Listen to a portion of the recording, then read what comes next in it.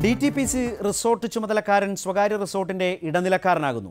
മലബാറിലെ പ്രധാന വിനോദസഞ്ചാര കേന്ദ്രമായ കോഴിക്കോട്ടെ തുഷാരഗിരിയിലാണ് ഈ ക്രമക്കേട് നടക്കുന്നത്. ഡി ടി പി സി കോട്ടേജുകൾ അടച്ചിട്ട് മാനേജർ സ്വന്തം സഹോദരന്റെ റിസോർട്ടിന് വേണ്ടിയാണ് പ്രവർത്തിക്കുന്നത്. ഡി ടി പി സിക്ക് ലക്ഷക്കണക്കിന് രൂപയുടെ നഷ്ടമുണ്ടാക്കുന്ന തട്ടിപ്പാണ് ഏഷ്യാനെറ്റ് ന്യൂസ് അന്വേഷണത്തിൽ വ്യക്തമായത്. പ്രാദേശിക തലത്തിൽ വിനോദസഞ്ചാരം പ്രോത്സാഹിപ്പിക്കുന്നതിനായാണ് ജില്ലാ ടൂറിസം പ്രൊമോഷൻ കൗൺസിലുകൾ നിലവിൽ വന്നത്. വിനോദസഞ്ചാര വികസനത്തിനായി അതാതിടങ്ങളിൽ നിരവധി കേന്ദ്രങ്ങളും നിർമ്മിച്ചിട്ടുണ്ട്. കോഴിക്കോട് ജില്ലാ ഭരണകൂടത്തിന്റെ മേൽനോട്ടത്തിൽ വിനോദസഞ്ചാര വകുപ്പിൽ നിന്നും എം എൽ എ ഫണ്ടിൽ നിന്നുമായി ലക്ഷങ്ങൾ ചെലവഴിച്ച് തുഷാരഗിരിയിൽ ഇത്തരത്തിൽ ഡി ടി പി സി കോട്ടേജുകൾ പണിതെങ്കിലും പ്രവർത്തനം നിലച്ചിരിക്കുകയാണ്. കാലങ്ങളായി തുടരുന്ന ഈ അനാസ്ഥയ്ക്ക് പിന്നിലെന്തെന്ന ഞങ്ങളുടെ അന്വേഷണമാണ്. ഡി ടി പി സി തന്നെ നിയമിച്ച മാനേജറുടെ തട്ടിപ്പിലേക്ക് വിരൽ ചൂണ്ടിയത്. വിനോദസഞ്ചാരികൾ എന്ന രീതിയിൽ ഡി ടി പി സി കേന്ദ്രത്തിലെത്തിയ ഞങ്ങളോട് താമസത്തിനായി മാനേജർ ചൂണ്ടിക്കാട്ടിയത് ഒരേ ഒരു റിസോർട്ട് മാത്രം. റിസോർട്ടിനെ കുറിച്ചുള്ള വർണനകൾക്കിടെ അത് സ്വന്തം സഹോദരന്റെ സ്ഥാപനമാണെന്നും വിശദാംശങ്ങൾക്കായി ബ്രോഷറിൽ നൽകിയിരിക്കുന്നത് തന്റെ തന്നെ നമ്പറാണെന്നും മാനേജർ ഷെല്ലി മാത്യു അറിയിച്ചു. ഞാനിവിടെ ടൂറിസത്തിൽ എന്റെ ജ്യേഷ്ഠനാണ് ഇത് ഇത് പറഞ്ഞത് ഇവിടെ സർക്കാരിന്റെ പണിയുണ്ട് അതിന്റെ നാട്ടപ്രായം പണിയിട്ടുള്ള അവിടെ കിടക്കും മരിക്കുന്നവർക്കും ഒരു കോട്ടേജ് എടുത്താലും സുഖമായിട്ട് ആരും ചെയ്യാൻ ശൈലിയില്ല. അതിൽ ഈ മൂന്ന് കോട്ടേജല്ല വേറെ ആരുമില്ല ഡി ടി പി സി കേന്ദ്രത്തിൽ നിന്ന് മുന്നൂറ് മീറ്റർ അകലെ മാത്രമാണ് മാനേജർ നിർദ്ദേശിച്ച റിസോർട്ട്. രണ്ടായിരത്തി അഞ്ഞൂറ് രൂപ മുതൽ മൂവായിരത്തി അഞ്ഞൂറ് രൂപ വരെ നിരക്ക്. മറ്റ് റിസോർട്ടുകൾ ഉണ്ടെങ്കിലും മാനേജർ എല്ലാവരെയും പറഞ്ഞുവിടുന്നത് ഇവിടേക്കാണെന്നും നല്ല ബിസിനസ്സാണ് നടക്കുന്നതെന്നും ജീവനക്കാരിയും പറയുന്നു. കപ്പിൾസായിട്ട് വരുവാണെങ്കിൽ ഡെയിലി മാത്രമേ കൊടുക്കുകയുള്ളൂ. പിന്നെ ഐ ഡി പ്രൂഫ് വേണം. വരുന്ന ഇരുപത്തിരണ്ട് വയസ്സ് പോലീസ് പ്രശ്നങ്ങളൊന്നും ഇല്ലല്ലോ ഇതുവരെ ഉണ്ടായിട്ടില്ല. പുറത്തെ റേറ്റിന് സമാനമായ തുക തന്നെയാണ് ഡി ടി പി സി കോട്ടേജുകളിലും നിശ്ചയിച്ചിരിക്കുന്നത്. അങ്ങനെയെങ്കിൽ പ്രതിമാസം ആറ് ലക്ഷം മുതൽ എട്ട് ലക്ഷം രൂപ വരെ നഷ്ടമാണ് മാനേജറുടെ ക്രമക്കേടിലൂടെ ഡി ടി പി സിക്ക് നഷ്ടമാകുന്നത്. എന്നാൽ തുഷാരഗിരിയിലെ കോട്ടേജുകളുടെ അവസ്ഥ മാനേജർ ശ്രദ്ധയിൽപ്പെടുത്തിയിട്ടില്ലെന്നും അനുവദിച്ചിരിക്കുന്ന ഫണ്ട് ഉപയോഗിച്ച് അതാതിടങ്ങളിലെ പ്രശ്നങ്ങൾ പരിഹരിക്കാനുള്ള ഉത്തരവാദിത്തം ഡി ടി പി സിയുടെ ശമ്പളം പറ്റുന്ന മാനേജർക്കുണ്ടെന്നുമായിരുന്നു ചെയർമാനായ ജില്ലാ കളക്ടർ എൻ പ്രശാന്തിന്റെ പ്രതികരണം.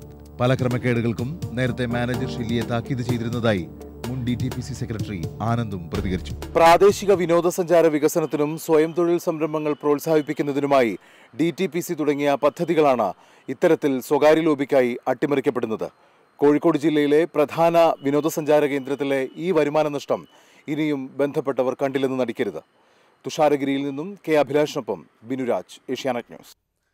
ഇപ്പോൾ ടെലിഫോൺ ലൈനിൽ കോഴിക്കോട് ജില്ലാ collector Shri N Prashanth telephone line ലൈനിൽ ചേരുകയാണ്. ശ്രീ പ്രശാന്ത് ഏതായാലും ഈ റിപ്പോർട്ടിൽ വളരെ വിശദമായി എന്താണ് തുഷാരഗിരിയിലെ D T P C D T P C കോട്ടേജുകളിൽ നടക്കുന്നത് എന്ന് വ്യക്തമായിട്ടുണ്ട്. അതിന്റെ വിശദാംശങ്ങളൊന്നും പുതുതായി പറയേണ്ടതില്ല. പക്ഷേ ഈ ഡി ടി പി സി സംവിധാനത്തിന്റെ ചെയർമാൻ സ്ഥാനത്തിരിക്കുന്ന താങ്കളെ സംബന്ധിച്ച് ഈ വലിയ വരുമാന നഷ്ടം ഇതുവരെ ശ്രദ്ധയിൽപ്പെട്ടിട്ടില്ല എന്നാണോ? എന്തുകൊണ്ടാണ് ഇത്തരം നഷ്ടങ്ങൾ പരി പരിശോധിക്കാതെ പോകുന്നത്? അതുകൊണ്ടല്ലേ ഇത്തരം ക്രമക്കേടുകൾ ജീവനക്കാർക്ക് ആവർത്തിക്കാനാവുന്നത്?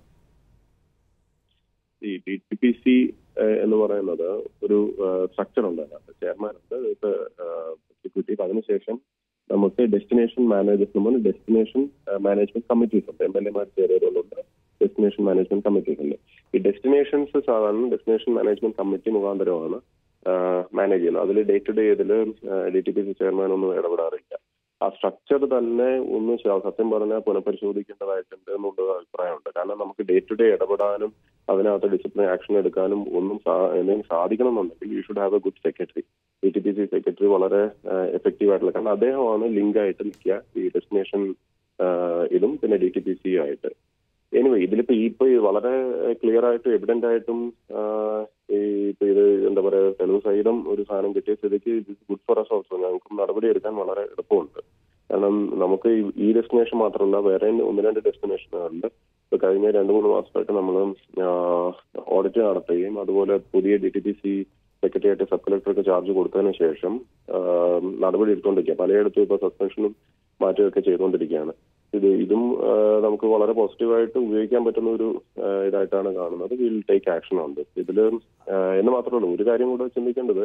ഡെസ്റ്റിനേഷൻ മാനേജ്മെന്റ് കമ്മിറ്റികളിലുള്ള ഇത്തരം അപ്പോയിന്റ്മെന്റ്സും ഇതുമൊക്കെ തന്നെ എങ്ങനെയാണ് നടത്തുന്നത് എന്നുള്ളതും കൂടെ ലാർജർ ഡിസ്കഷൻ കൂടെ പോകേണ്ടതുണ്ട്. കാരണം എങ്ങനെ തൊട്ടടുത്തൊരു റിസോർട്ട് നടത്തുന്ന ഒരാൾ അവിടെ.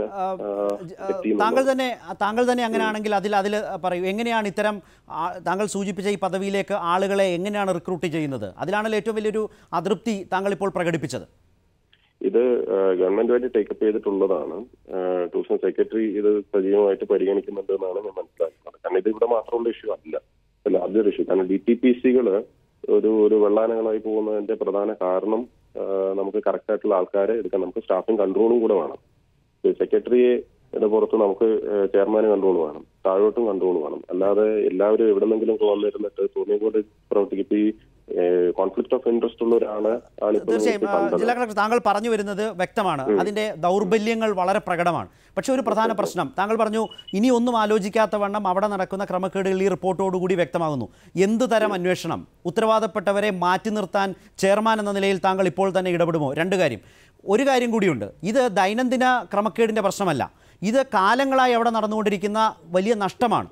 അങ്ങനെയാണെങ്കിൽ ഡി ടി പി സിയുടെ കണക്കുകളിലൂടെ അത് പരിശോധിക്കാൻ കാലങ്ങളായി ആരും ശ്രമിച്ചിട്ടില്ല എന്ന ഒരു യാഥാർത്ഥ്യം കൂടിയല്ലേ പുറത്തു വരുന്നത്? തീർച്ചയായിട്ടും.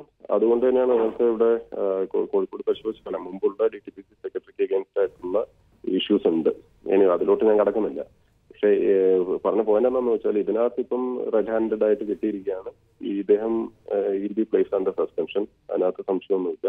അതിനകത്ത് എൻക്വയറി ഉണ്ടാവും. സബ് കളക്ടർക്കാണ് ഇപ്പൊ ഞാൻ ഡി ടി പി സി സെക്രട്ടറിയുടെ ചാർജ് കൊടുത്തിരിക്കുന്നത്. So he will make an enquiry ഇതിനകത്ത് തീർച്ചയായിട്ടും നടപടി ഉണ്ടാവും.